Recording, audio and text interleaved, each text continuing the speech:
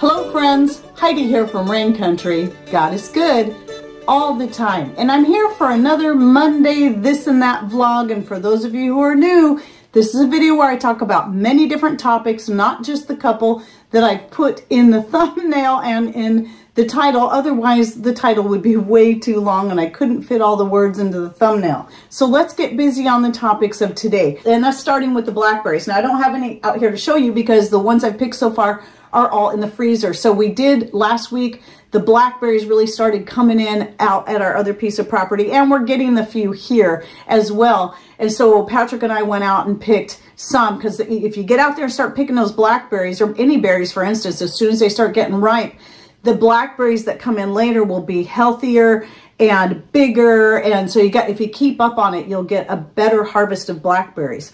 And so I'm hoping to have time to go out there today to get some more fresh because what I plan on doing, I want to have it end up picking a total of 10 gallons, which I see no problem because there's lots of blackberries out there at other piece of property because we let them grow back in in some areas out there that had the property owner before us had kept mowed down. Now we're letting that fill in with blackberries. So, and they're, why they're the Himalayan blackberries out here, they're considered a noxious weed because they will pretty much take over everything.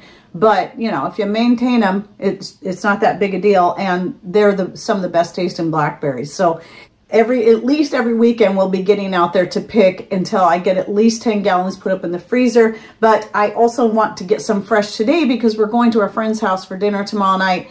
And I promised I'm going to make a blackberry crisp and then Patrick has been begging me to make some blackberry turnovers now. and so I plan on doing that. And I don't want to pull the blackberries out of the freezer I have so far. So I'm hoping today I have time to do that because I got to get the turnover dough made today so it can chill all night in the refrigerator.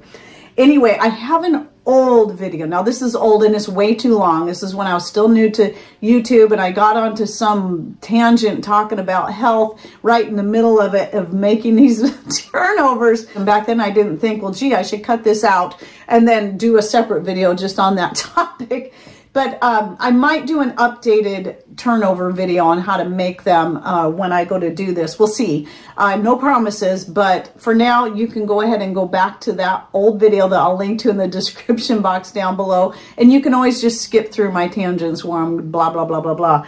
But uh, anyway, so I apologize for that in advance if you go to that video. It's 45 minutes long, blah, blah, blah. My goodness sakes. So anyway, um, yeah, so that's what I plan on doing. I like to have, I, I haven't, we haven't been out picking blackberries in a long time.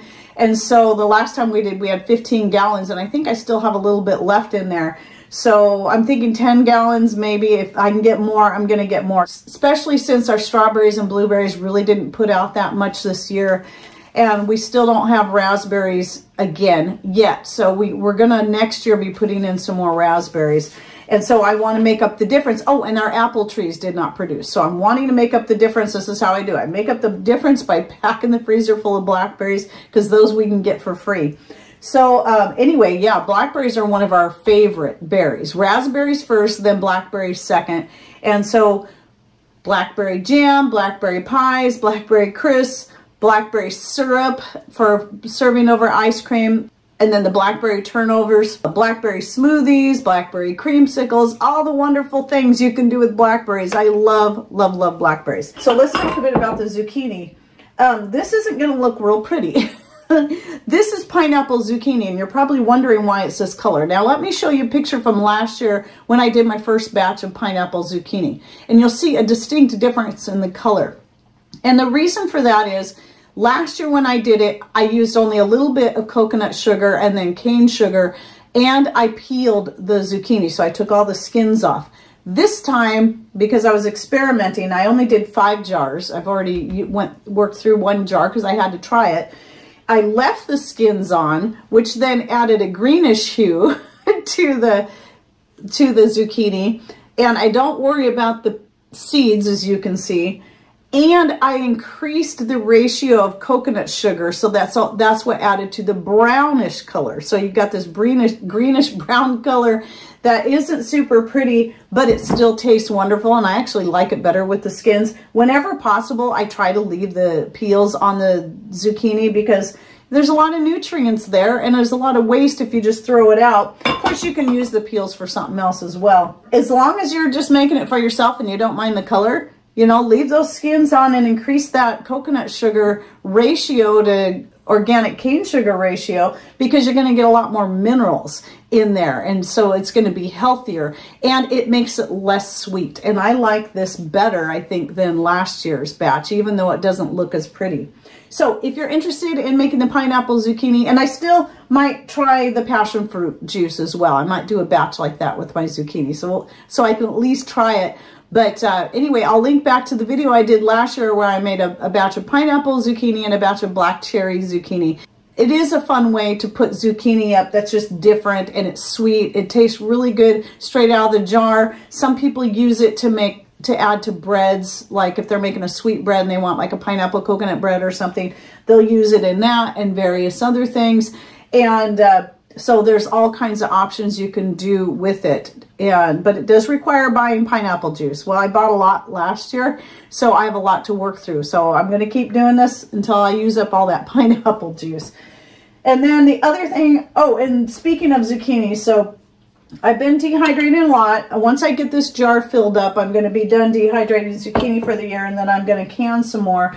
But I also, that zucchini back there, this little stubby one, I really want to get at least one more that I can allow to fully mature because I want to save the seeds. So this one I believe has been cross-pollinated. I grew it last year.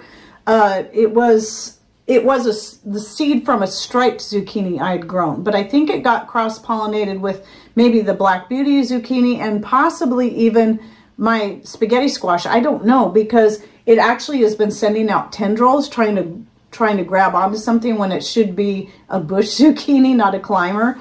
And the just the shape of it is different. And even on the inside, it has a slightly more yellowish, orangey tinge than standard zucchini does. But the flavor is awesome. So I really would like to grow this one again next year. I still have seeds from that I saved from last year's zucchini left, but I would like to get some from this one in particular.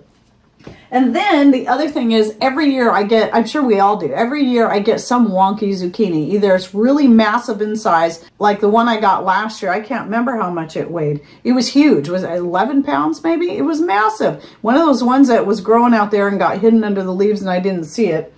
But then I get these really wonky ones. So last year I got the the one that was complete circle and I even put it on my hand like a bracelet. And I'll show you a picture here. And then this year, I got one that's flat. How weird is that? It's not flat so much on the bottom, but this was the top of it. This is how it grew. And I'm like, bizarre, this zucchini. So I don't know what caused it to do that because there was nothing pressing down on it. It just, no stems from the plant or anything. So I don't know. It was very weird. And then this one here is your standard Black Beauty uh, zucchini, and this is the standard size it'll get. Obviously, it will get much bigger, like the one I showed in that picture that was like 11 pounds. But, you know, you can pick them younger, but they do get much bigger. This, to me, is a good size to pick the Black Beauties at. And then the tomatoes, still got tomatoes ripening up, and I brought this one over because I, I bring, once they start to blush, that's when I bring them in and let them finish turning color in the window, finish ripening in the window, so that more energy can go into making more tomatoes. And so I like to get these off there as soon as possible. And usually in a day or two, they turn this color. So all the ones I've been getting so far are the purples. And this is a purple. And they do, they can get quite big. These are my favorite ones. I don't know if they're the purple Cherokee because there were seeds I saved years ago. And I just keep growing them every year and saving the seeds again from a purple tomato I got from a store an organic purple tomato that I don't remember if it specified it was a purple Cherokee because it was in a bunch of tomatoes that were in there. There was there was uh, orange and red and I think yellow and then the purple. And anyway, um, I love these ones. They, they're some of the ones that do the best for me.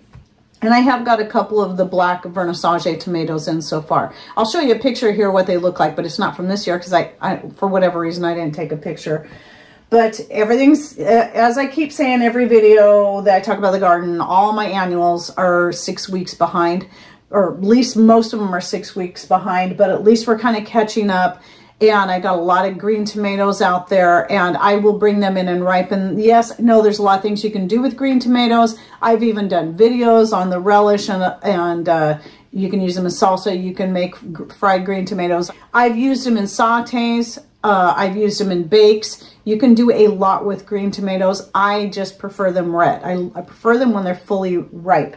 And so um, I like to get them, ripen them up. And as I said in last week's video, I now have switched to fully dehydrating all of my tomatoes because they take up less room because of the way that I use them in the first place. It's kind of pointless for me to can them and have them take up that much more room. I probably reduce the space they take up by about 75%, I would say at least. And I do have an old video I did on making the tomato flakes I'll link to down below. It's a few years old, but virtually I still, I do it pretty much the same way, except for now I use the silicone trays now that they finally started coming out with some with the edges on it and threw out all the plastic ones that warp and, and, and they're plastic. And I like the silicone so much better. Then another thing is sheep sorrel. I've thought all this time was a weed coming up in my front garden areas and I keep pulling it up and keep pulling it up. And it wasn't until a friend told me about sheep sorrel and how it's used in cancer in teas that help to treat cancer. And so I looked it up and I saw it was a picture of that stuff I keep pulling up. I did had no idea it was a sorrel. Sorrel comes in various different forms. You have one that looks like a giant clover. That's, I think, called wood sorrel, and we tend to get that at our other property. And then, so I tasted the leaf. It looks very different than the other sorrels, and sure enough, it's definitely a sorrel. It has the same exact flavor. So since it's just growing wild out there, I've been pulling up the whole plants because it just keeps coming back up and dehydrating it. And um, I'm hoping to get this jar filled up. And maybe eventually I'll do a video on that. I, I don't have a lot of information. I haven't researched all the many health benefits, but I do know that and did find that about the help helping to prevent and treat cancer. So I thought it would be a good idea to have a jar of that on hand. Okay, and now let me go back to last week's video where I, I was talking about canning beans and I gave you these times. I only just, uh, under that video, I had several people correcting me on the canning times. And I think I know what happened. I've been canning my beans for that, my green beans, for that long, for years, because I thought that was the time. And I think what I did, because I, was, I always use my All-American book instead of my ball book, which I do have, but the American, the All-American one's always handier for me to grab. And I'm thinking what I must have done was seen the canning times for beans like dried beans, you know, pinto beans, black beans, whatever, and thought that was green beans. And ever since, I've been canning my green beans from the garden for way too long. So I think if I remember correctly, people were saying 20 minutes for pints and 30 minutes for quarts. And I'll try, I'll find it and try to put it in text here. So that's a correction thank you to those who let me know that because I've been wasting propane for years. I had no idea. I should have went and double checked it in another book. And but I'm glad to know that from here on out because it's going to make the process go so much faster. I'm going to save propane because I do all my canning outside on a propane burner. Thankfully, though, my beans have always turned out great. They've never turned out mushy. So anyway, uh, I wanted to say that real quick, make that correction. And again, thank you for those who let me know that. And then the lids. I didn't bring the lids out in here, but well, you can see right here, this, all the, all the things I've been canning, the green beans, the pineapple zucchini, the regular zucchini, uh, I've been using a mix of the Superb brand lids and the ForJars lids. Since both companies, uh, unsolicited, each sent me a, a bunch of these lids to try out, I decided with each batch I would do half and half. Now this is the first batch I did with just the regular mouth. All the other jars that I did, the, the green beans, the zucchini, I have done with the wide mouth. And I've had no problems with either of the brands. Now some people were saying that, I guess Wanda did a video on the Superb ones and she said that her the wide mouth ones, the lids were buckling and causing her jars to break that didn't happen with me, at least not so far. And then somebody else come, said that they were having problems getting their all of their ForJars lids to seal. And so far, none of those have been an issue either. So I do know when I was reading reviews on Amazon on the Superb brand lids, that there were a couple of people in there that reviewed it that ended up getting, and I think this is one of their very, some of their very first batches that came out of the lids. They ended up with some that had defects. They said they were visible defects in the lids and then the lids would not seal at all. So what my assumption is, is they've gone, it was probably just a, a defect in the actual, you know, when they're pressing out the lids, whatever machinery they were using and when they discovered it they probably went back and fixed it because I've not seen that on any of the lids that I've, I've received so and yes they're the Lehman's lids they're called Superb as is says right here and that's what I've been calling them but they are Lehman's so you can get them from Lehman's you can also get them from Amazon which I'll link to down below. I don't know if there's other places you can buy them from. And then ForJars you can get directly from their website. I don't have an affiliate link now, the ForJars lids, the Superb, the reason I like the Superb better, which is what I was saying, is they're a nice thick lid with a thicker gummy section around them than the ForJars, and that they're made entirely in the U.S., where the four jars brand is made overseas. It's, they're made in China. I emailed the company and asked them specifically where they're made. They told me China. But somebody, a couple people I think it was, told me in comments, which I haven't been able to find yet, but I haven't looked real hard, that apparently ForJars is trying to get their factory moved to the U.S. So if they do that, then definitely I would recommend their lids. Uh, but for now, I'm going to, if I have to buy any more lids, I'm going to go with the U.S. made ones until these ones are actually made in the U.S. as well. But, uh, and it's not that I mean, sometimes we just have to resort to buying things made in China because there's so few things made in the U.S. But as much as possible, I do try to support U.S.-based businesses, just like the wallet I have, those toys that I bought and I talked about last week. And they have a lot more different toys I found. They're not just the water ones. They have other ones, and they're great. And uh, anyway, and I'll put a link to, to that store again down below because they're all made in the U.S. and they're just wonderful toys. Jackson loves them. And he still likes the helicopter best. I thought he would like the, the plane best, but nope, he still likes the helicopter best. He does like the plane. He likes the plane a lot. He just likes the helicopter better. I still had some more stuff to talk about, but this video is already too long as I can see by my time there. So hopefully I can cut it down a lot shorter than that.